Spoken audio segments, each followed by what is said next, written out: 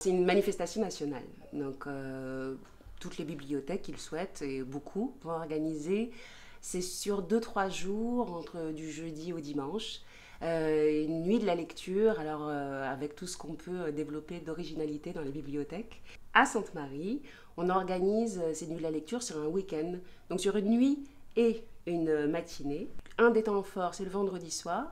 Donc le vendredi 20, on va commencer par une braderie de livres.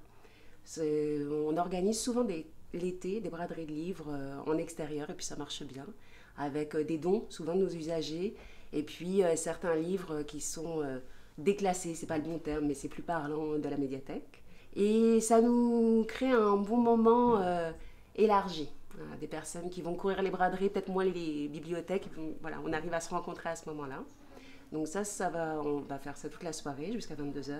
Et le lendemain matin, pour ceux qui n'auront pas pu venir le soir, euh, à 18h30, on va organiser des contes à faire peur, parce que le thème de la nuit de la lecture cette année, c'est la peur. Donc on avait envie de faire peur aux, enfants, aux adultes bien sûr, mais c'est plus dur, mais aux enfants. On s'adresse plutôt à partir de 5 ans, pour pouvoir commencer à faire un petit peu peur pour de vrai. Et on va présenter ça avec euh, une de mes collègues bibliothécaires. Alors, euh, je vous dévoilerai rien à part qu'on essaye euh, de préparer quelque chose qui fera un petit peu peur, qui, qui leur fera passer une bonne soirée. On va proposer ça à 18h30 et sur une petite heure. Voilà, donc ça, ce sera aussi dans la médiathèque.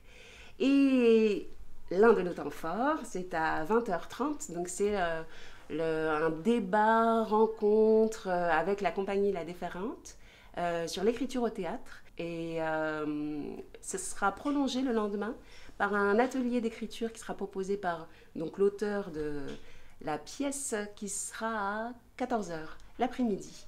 Et pour pouvoir avoir un, un, moment un peu privilégié avec l'auteur et sur un petit groupe d'adultes, voilà, pouvoir jouer autour, euh, avec les mots bien sûr, et puis autour de cette pièce. La Déferlante, c'est une compagnie de théâtre euh, d'art de rue que j'ai créée il y a 20 ans à Paris et qui est toujours euh, localisée à Paris, dans les quartiers populaires, dans le nord de Paris. Pour, pour l'année 2023, on a conçu un projet de création sur le territoire de l'île de Ré, parce que je suis flottaise. Et c'est un projet dont l'idée est de constituer une troupe mixte entre la troupe professionnelle de la déferlante, donc les comédiens et le metteur en scène auteur de la déferlante, qui seraient mêlés pour un spectacle dédié euh, à une troupe d'amateurs, euh, comédiens et musiciens, qui seraient tous rétés. Ce week-end, on est invité par euh, la médiathèque de Sainte-Marie dans le cadre d'un événement qui est la nuit de la lecture et euh, l'idée était euh, d'inviter donc Thomas Tessier, qui est l'auteur et le metteur en scène de ce spectacle, qui s'appelle Pénélope sans mêle. Et il est invité euh, en tant qu'auteur à partager avec le public son chemin d'écrivain pour le théâtre, pour l'espace public, et à raconter quelle a été sa démarche d'écriture pour ce spectacle. Pénélope sans mêle, c'est ça, et c'est un format vaudeville.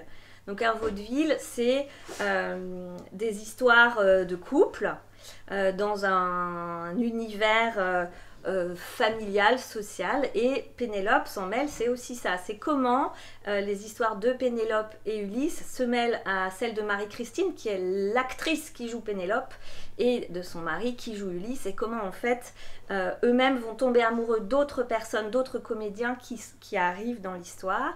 Et euh, tout cela est le prétexte à un, joyeux moment de théâtre et de musique euh, en fanfare, avec euh, pour objectif de rire et de s'amuser à faire du théâtre et à faire de la musique.